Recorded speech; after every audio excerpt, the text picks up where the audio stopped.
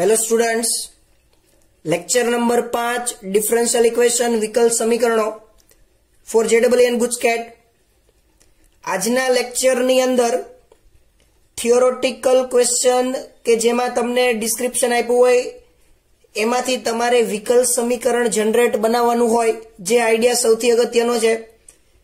એની ચર્ચા કરશું. Lecture number એકથી ચારની અંદર ખૂબ સરસ વાત કરી. વેરિયેબલ સેપરેબલ હોય હોમોજીનિયસ હોય first order linear differential equation હોય કે છેલ્લા લેક્ચરની અંદર છેલ્લો કોન્સેપ્ટ સૌથી અગત્યનો બર્નુલ ઇક્વેશન આવે તો ખબર કેમ પડે કે આને બર્નુલ ઇક્વેશન કહેવાય? જો બર્નુલ ઇક્વેશન આવે તો એનું સોલ્યુશન કઈ રીતે લાવવું? એનો ઉકેલ કઈ રીતે લાવવો? એની વાત લેક્ચર નંબર ચારમાં કરી છે.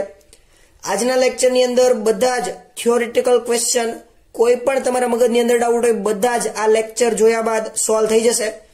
Question number thirty six start કરીએ. શું કહે છે? એક ઔદ્યોગિક ફર્મની હાલની ઉત્પાદન ક્ષમતા બે હજાર વસ્તુઓ માટે છે. એમાં કામ કરતા એટલે કે જો કામદારોની સંખ્યામાં થતા વધારાને એક્સ વડે દર્શાવવામાં આવે અને જો ઉત્પાદન પી નો એક્સની સાપેક્ષે બદલાવાનો દર એટલે કે DP by DX hundred minus twelve root X છે. જો આ કંપની ફોર્મ દ્વારા કામદારોની સંખ્યામાં પચીસનો વધારો કરવામાં આવે, તો નવી ઉત્પાદન ક્ષમતા એટલે કે નવું પ્રોડક્શન ન્યૂ પ્રોડક્શન કેટલું થશે? કામદારોની સંખ્યા કોના સ્વરૂપમાં દર્શાવી છે? એક્સ એટલે કે એક્સ પચીસનો વધારો કરવામાં આવે. તો હવે આ દાખલાની અંદર જુઓ, અહીંયા વધારાનો દર ડીપી બાય ડીએક્સ આપી દીધેલું છે. એટલે બહુ પ્રશ્ન રેશાની વિકલ્પ સમીકરણ આપણે બનાવવાની જરૂર નથી, કારણ કે ઓલરેડી રેડીમેડ તૈયાર આપેલું છે. શું? તો કે ડીપી બાય ડીએક્સ બરાબર hundred minus twelve root of X હવે જુઓ, કઈ મેથડથી આનો ઉકેલ સામાન્ય ઉકેલ જનરલ સોલ્યુશન લખી શકાશે? તો કે ડીપી વાળા પી ના ઘરે, એક્સ વાળા ડીએક્સ ના ઘરે, તો અહીંયા પી વાળું નથી એટલે ડીપી બરાબર hundred minus twelve root X DX આમ લખાય. ચલો, આ ખબર પડી ગઈ. બીજું સ્ટેપ એની પછીનું, બંને બાજુ સંકલન કરવું પડે આપણે. તો ચાલો, સંકલન કરતા પી બરાબર હંડ્રેડ એક્સ માઇનસ ટ્વેલ્વ એક્સની વન બાય ટુનું સંકલન એક્સની એક ઘાતનો વધારો થાય one by two plus one ના છેદમાં one by two plus one એટલે કે થ્રી બાય ટુ થાય. જો આને કેન્સલ કરી નાખવામાં ઓકે ચાલો એક સ્ટેપ વધારે લખીએ થ્રી બાય ટુ છેદ આવી રીતે આવે તો ઉપર થઈ જાય two by three okay plus C ચાલો સાદુરૂપ આપીએ હંડ્રેડ એક્સ માઇનસ કેન્સલ થાય ત્રણ ગુણ્યા ચાર. આઠ એક્સ ત્રણના છેદમાં બે. વત્તા સી પી નું સામાન્ય સોલ્યુશન ઉકેલ મેળો કહેવાય. હવે જો વાંચો એક્સ નો વધારો. પરંતુ ક્યારે?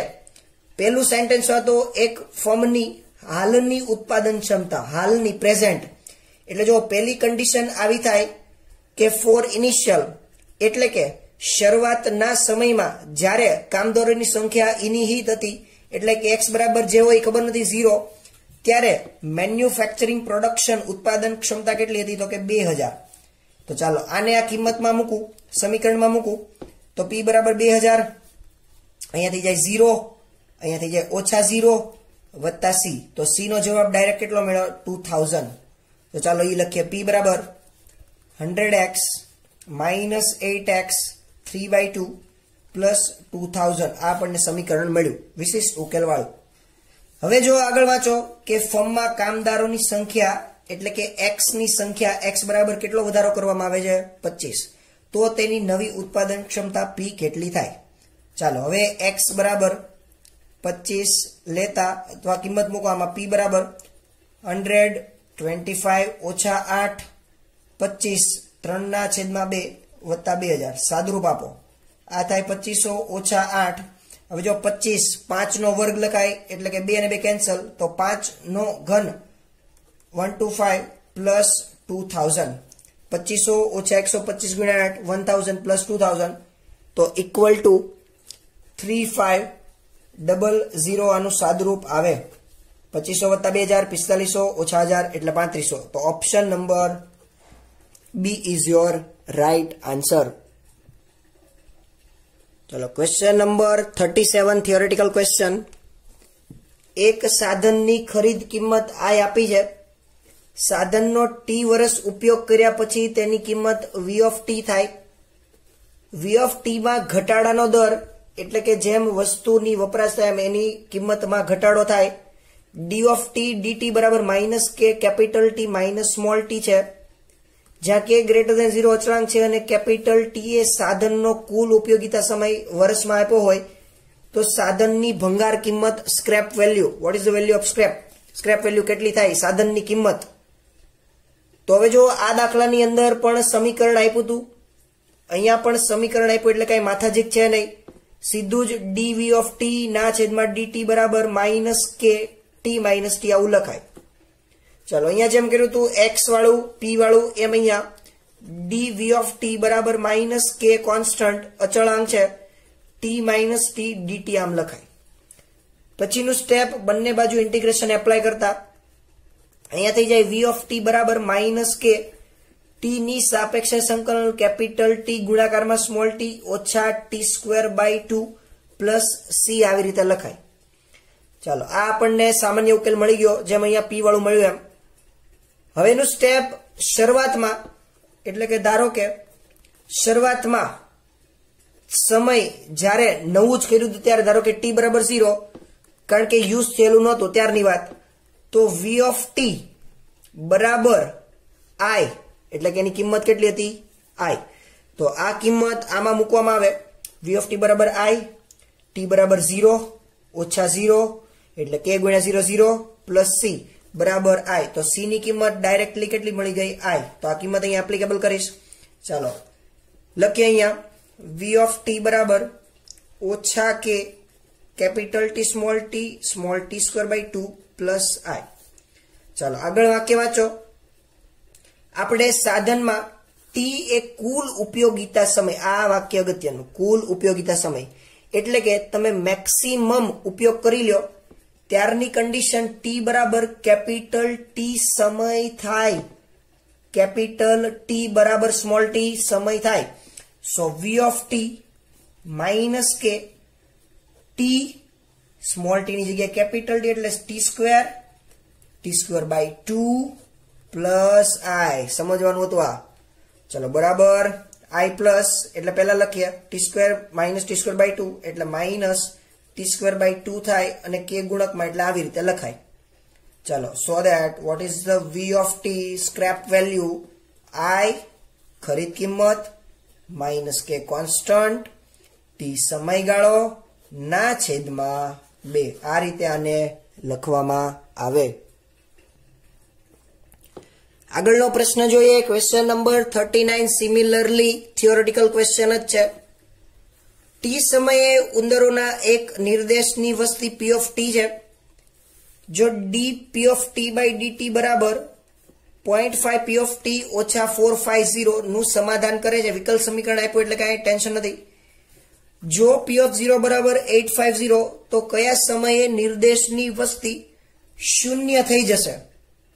ચાલો, સોલ્યુશન લખીએ પહેલા તો કે ડી પી ઓફ ટી ના છેદમાં DT point five P of T minus four five zero ચાલો ટી આ સામેની બાજુ લઈ જાય point five P of T minus four five zero DT અહીંયા આવી ગયું ડી પી ઓફ ટી હવેનું સ્ટેપ બંને બાજુ ઇન્ટિગ્રેશન કરવાનું. હવે જો આખું પી ઓફ ટી અહીંયા ન લખવું હોય, તો એની જગ્યાએ યુ લખી નાખીએ સરળતા માટે. એટલે કે અહીંયા સીધું ડી યુ એમ જ લખાય. પી ઓફ ટી નો લખવું પડે. ચાલો લખી નાખીએ. ડી યુ બરાબર. શું થાય જુઓ? પોઈન્ટ ફાઈવ પાછું જુઓ, આવી રીતે લખી નાખીએ. Point five U minus four five zero બરાબર. ડીટી ખાલી આમ નામ રાખીએ. પી ઓફ ટી વાળું પી ઓફ ઘરે અને યુ ટી વાળું આમ નામ. ચાલો, હવેનું સ્ટેપ પોઈન્ટ ફાઈવ જો કોમન લઈ લઈએ, તો થોડુંક સરળ થઈ જાય. કઈ રીતે? જો ટુ ડી યુ છેદમાં યુ માઇનસ નાઇન હંડ્રેડ એ રીતે. ચાલો, આનું સાદુરૂપ એકના છેદમાં એક્સનું સંકલન હવે ઇન્ટિગ્રેશન એપ્લાય કરી શકો. Two log of U minus nine hundred બરાબર ડીટી એટલે કે અહીંયા સીધું લખી નાખીએ ટી પ્લસ સી સંકલન કર્યું એટલા માટે. ચાલો, હવે સ્ટેપ આગળ વધારીએ. યુ બરાબર કેટલી કિંમત લેવી તો જુઓ, શરૂઆતમાં ટી બરાબર zero fix condition initial time U બરાબર પી ઓફ ઝીરો તો પી ઓફ ઝીરો ની કિંમત જો ટી બરાબર ઝીરો અહીંયા આપ્યું હતું P of zero eight five zero ચાલો, કિંમત નાખી દઈએ. Two log eight five zero minus nine hundred બરાબર ટી પ્લસ સી એટલે કે સી ની કિંમત મળશે. ટી બરાબર ઝીરો સી ની કિંમત મળી જાય. What is the value of C two log of માનાંક, એટલે પચાસ પ્લસ પચાસ. ચાલો, આ કિંમતનો ઉપયોગ જનરલ સોલ્યુશન જે આ લખ્યું તેની અંદર નાખીએ. So two log mod U minus nine hundred બરાબર ટી પ્લસ સી ની કિંમત ટુ લોગ ફિફ્ટી આ જનરલ ઇક્વેશન જ લખ્યું હતું ટી ની જગ્યાએ ઝીરો મૂક્યું, એમ કીધું, એટલે અહીંયા પ્લસ ટી પરિણામ નંબર એક કયો એટલે સી ની કિંમત મેળવે, તો ટી ઝીરો નાખો, એટલે જવાબ મળે. આ તમને ઇઝીલી મળે. આવડે છે, એટલા માટે. ચાલો, હવે મારે આમાંથી ટી ને કરતા બનાવવો છે, કારણ કે કયા સમયે આ જે ઉંદરોની વસ્તી આપી છે, એ શૂન્ય થાય મેળવવું છે. એટલે ટી ને કરતા બનાવવો પડે. તો આને ઓલી બાજુ મોકલો. સાઈડ ચેન્જ સાઇન ચેન્જ એટલે કે ડાબીથી જમણી જાય, જમણીથી ડાબી બાજુ હવે નિશાની ફરી જાય. So T is equal to two log mod U minus nine hundred upon fifty આવી રીતે લખાય. બે આમ નામ લોગ એ ઓછા બી લોગ એ બાય બી એ લખ્યું. ચાલો ટી બરાબર two log U minus nine by fifty હવે જો નિર્દેશની વસ્તી શૂન્ય, એટલે કે એવું વિચારવાનું કે યુ બરાબર પી ઓફ ટી ક્યારે શૂન્ય થાય. એટલે કે ટી બરાબર ટુ લોગ યુની જગ્યાએ શૂન્ય લઉં, ઓછા નવસો ના છેદમાં પચાસ. ઝીરો ઝીરો કેન્સલ અઢાર આવે અહીંયા. ટુ લોગ મોડ અઢાર. એટલે કે કયો સમય એવો હશે કે જ્યારે ઉંદરો એક પણ હશે નહીં અથવા નિર્દેશની વસ્તી શૂન્ય થઈ જાય? That means two log mod eighteen ચલો, આ પ્રશ્ન તમે વીડિયો પોઝ કરીને જાતે ગણો, કારણ કે આવા પ્રશ્ન ત્રણ આપણે ગણી નાખ્યા આગળ. સિમિલર આ જ ક્વેશ્ચન છે. ખાલી ઉંદરોની જગ્યાએ સસલાવ કરી નાખ્યા મેં. ડીપી બાય ડીટી પોઈન્ટ પાંચ, ઈ જ છે, જુઓ. વન બાય ટુ પીટી લખ્યું માઇનસ ટુ હંડ્રેડનું સમાધાન કરે. કન્ડિશન પી ઓફ ઝીરો આઠસો પચાસ હતું પી ઝીરો સો. તો P of T P T similar એવો જ ક્વેશ્ચન છે. આ જ મેથડ ફોલો કરવાની છે. ક્વેશ્ચન જાતે ગણો, એટલા માટે ઓપ્શન આપ્યો. તમે જવાબ ચેક કરો અને છેલ્લે સોલ્યુશન જોજો. ચાલો સોલ્યુશન સ્ટાર્ટ કરીએ. D P of T by DT one by two P of T ઓછા ટુ હંડ્રેડ એ રીતે આપેલું છે. હવે જેમ ઓલા દાખલામાં પી ઓફ ટી આખું ન લખવું હોય તો યુ વી કોઈ પણ તમે કહી શકો યુ લખી નાખ્યું હતું. તો એ રીતે લખી નાખે જો ડી યુ બાય ડીટી બરાબર one by two U minus two hundred તો જો આને લખીએ એક step D U by DT બરાબર વન બાય ટુ યુ ઓછા બસો. તો જો આને કઈ રીતે લખું છું? બે લસા લઈ લો ટુ ડી યુ છેદમાં યુ ઓછા ચારસો. બરાબર ડીટી હવેનું સ્ટેપ બંને બાજુ ઇન્ટિગ્રેશન બહુ સરળ છે. ચાલો. Two log mod U minus four hundred બરાબર ટી પ્લસ સી પરિણામ નંબર એક કયો. ચાલો, શરૂઆતમાં વાત કરી હતી આવી કન્ડિશન ટી બરાબર ઝીરો એ. પી ઓફ ઝીરો કેટલું આપ્યું છે? હંડ્રેડ તો કિંમત મૂકો એટલે સી ની કિંમત મળે. કઈ રીતે? જો T zero plus C two log mod hundred લખી નાખીએ two log mod hundred minus four hundred બરાબર zero plus C this simplify what is the value of C two log mod three hundred ચાલો, આ કિંમત પરિણામ number એકમાં નાખો, એટલે આવું મળે કે two log mod U minus four hundred બરાબર T plus C that means two log mod three hundred ચાલો ટી આપણને રસ છે ટી મેળવવામાં. કેરીના રસમાં નહીં વિકલ્પ સમીકરણના પણ રસ રાખવો તો બે ઓલી બાજુ મોકલી દઈએ તો to common log of a minus b that means log of a by b બરાબર ટી થાય કે નહીં આવું? ચાલો, હવેનું સ્ટેપ આપણો જવાબ હશે. કયું સ્ટેપ તો કે લોગ પી ઓફ ટી મેળવવું છે મારે. તો ચાલો, હજી કિંમત મૂકી દઈએ કે ચારસો માઇનસ જો આ શું કરું, જો ફોર હંડ્રેડ માઇનસ યુ કેવું હોવાનું? ધન. ક્યારે હું લોગ માનાંક દૂર કરું ત્યારની વાત કરું છું? સો દેટ ટીમાં ફેરવવું છે, તો લોગની તો પહેલા તો ઘાતમાં જાય, અથવા ઘાત ન લખવી તો જો આને આમ લખાય ટી ની ઘાત વન બાય ટુ જો log of mod u minus four hundred three hundred square અહીંયા ટી તો જો બંને બાજુ એક્સપોનેન્શિયલ લગાડવું હોય એક્સપોનેન્શિયલ એક્સપોનેન્શિયલ તો અહીંયા ઈ લગાડો. તો જો આને આમ લખાય e raise to t by two alternate change થઈ જાય, જે ઈ રેસ ટુ ની હોય એના ઘાતના વહી આવે. ટી બાય ટુ માં વહી આવે. લોગેરિથમિક કેરેક્ટરિસ્ટિક્સ બરાબર. ચારસો ઓછા યુ ના છેદમાં થ્રી હંડ્રેડ તો ચાલો, હવેનું સ્ટેપ સરળ થઈ ગયું કે યુ બરાબર પી ઓફ ટી એટલે કે યુ કીધું તો અહીંયા, જો પી ઓફ ટી બરાબર યુ કીધું હતું તો યુ બરાબર ફોર હંડ્રેડ માઇનસ કારણ કે યુ પ્લસ માઇનસ એટલે ઓલી બાજુ લઈ જાઓ પ્લસ, આનો ગુણાકાર કરો એ રીતે લખીને four hundred minus three hundred e raise to t by two. અને યુ બરાબર શું આપ્યું છે? P of t. એકદમ સરળ પ્રશ્ન.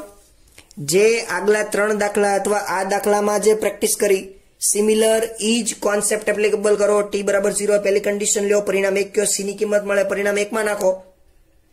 બીજી વાત, પી ઓફ ટી મેળવવું કરતા બનાવો. અને પી ઓફ ટી બરાબર મેં અત્યારે યુ કીધું હતું તો યુ બરાબર છેલ્લે પી ઓફ ટી બરાબર શું જવાબ four hundred minus three hundred e raise to plus t by two that means option number A is your right answer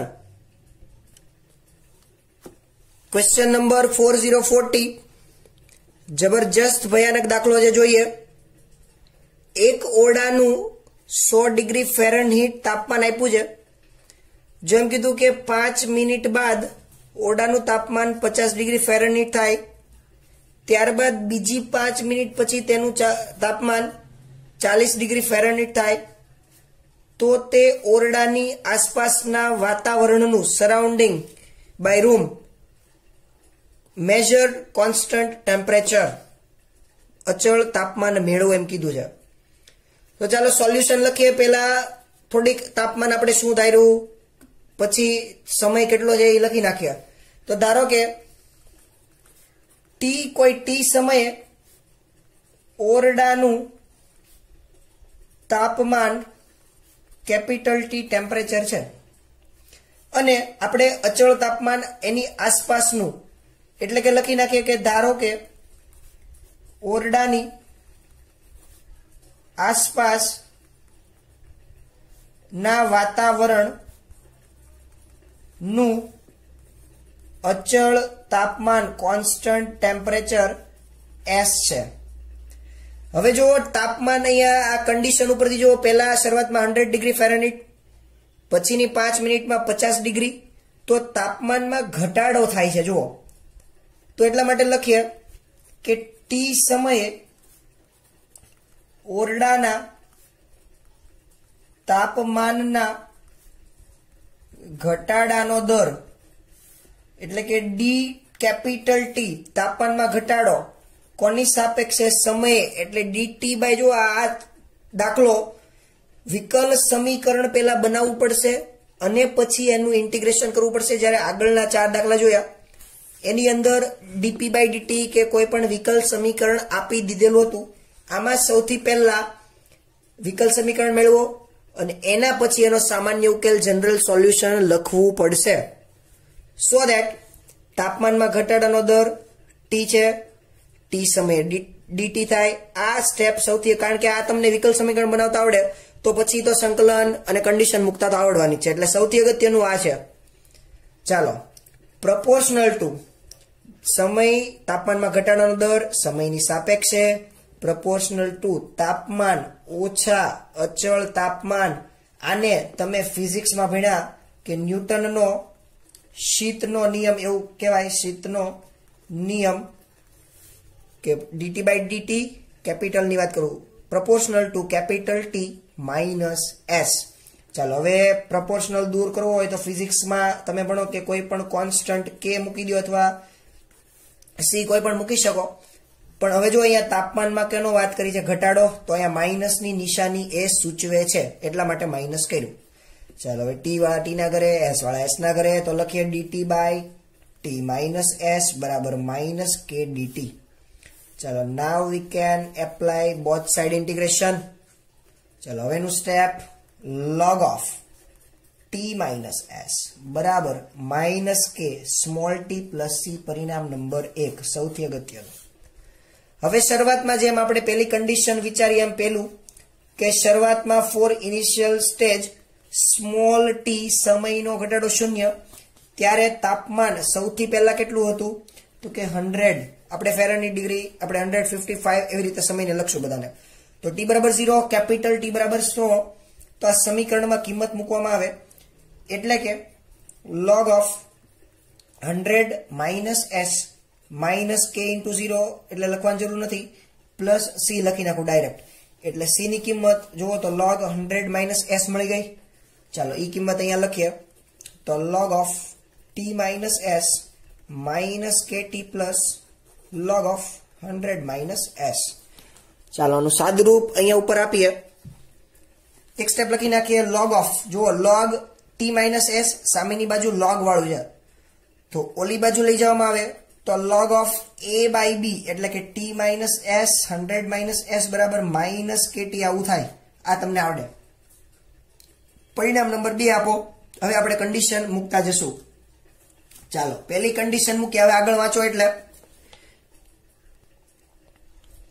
ચલો, આગળ વાંચો કે તાપમાન ટી બરાબર પાંચ મિનિટ પછી ઓરડાનું તાપમાન કેટલું થાય છે? પચાસ.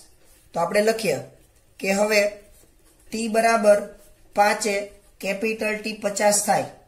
અને બીજી કન્ડિશન છે કે એની પછીની પાંચ, જો આ ક્વેશ્ચન સમજવો સેન્ટેન્સ શું કહેવા માંગે, સૌથી પાંચ મિનિટ તો હતી તે પચાસ.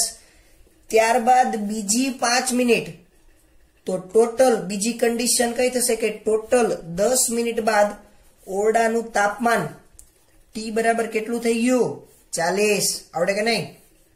ચાલો બંને કિંમત સમીકરણમાં મૂકતા. So that log of fifty minus s બરાબર સો ઓછા એસ બરાબર ઓછા પાંચ કે. ચાલો, અને જ્યારે દસ મિનિટ બાદ હોય તો શું થશે? Log of forty minus s upon t minus s એટલે કે હંડ્રેડ માઇનસ એસ બરાબર ઓછા દસ કે ટી કે.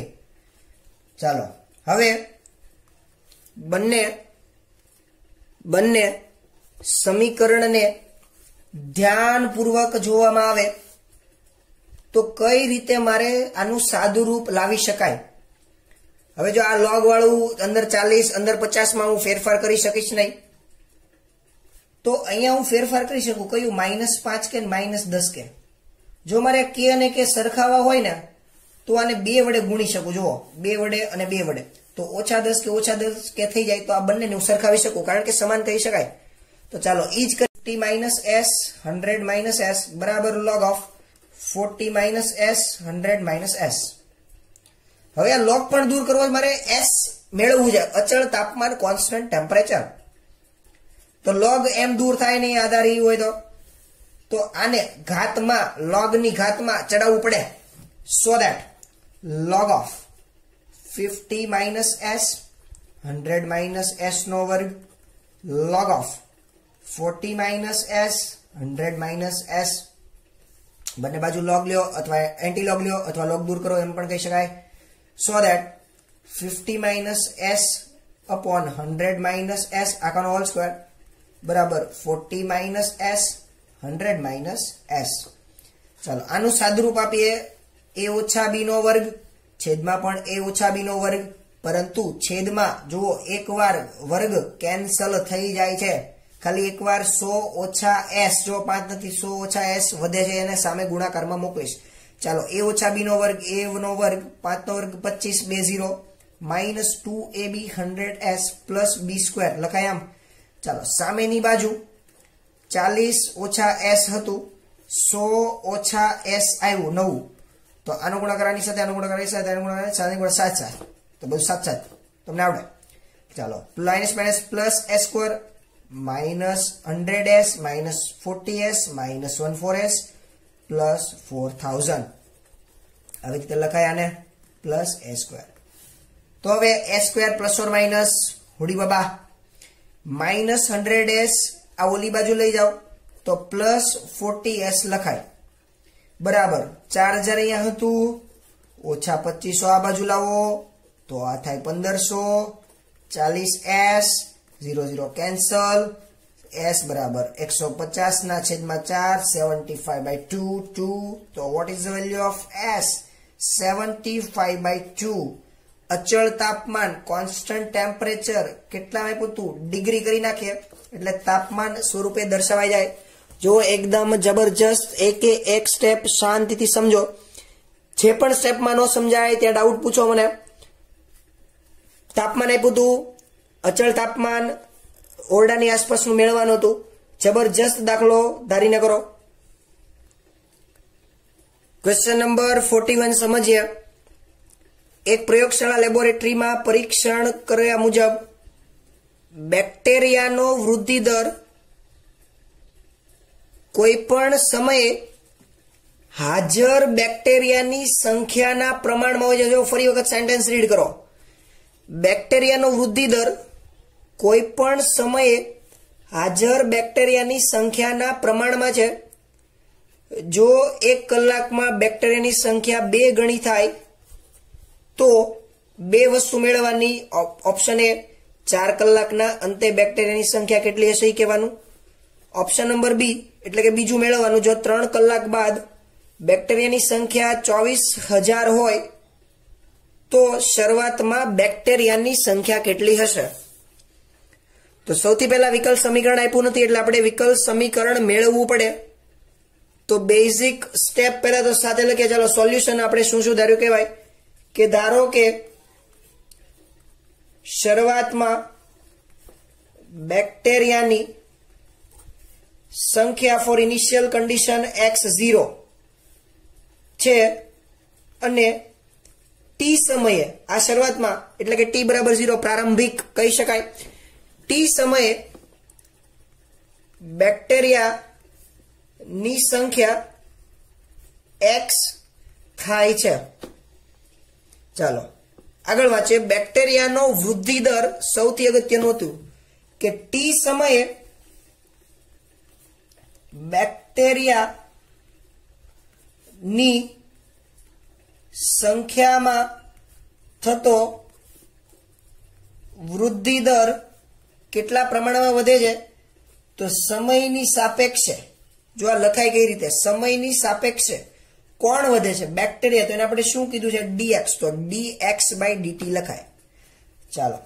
ઈ કોના સમપ્રમાણમાં છે? તો કે હાજર બેક્ટેરિયાની સંખ્યા. તો હાજર બેક્ટેરિયાની સંખ્યા આપણે કેટલી ધારી? એક્સ તો d x by dt proportional to x સૌથી અગત્યનું સ્ટેપ આ હતું.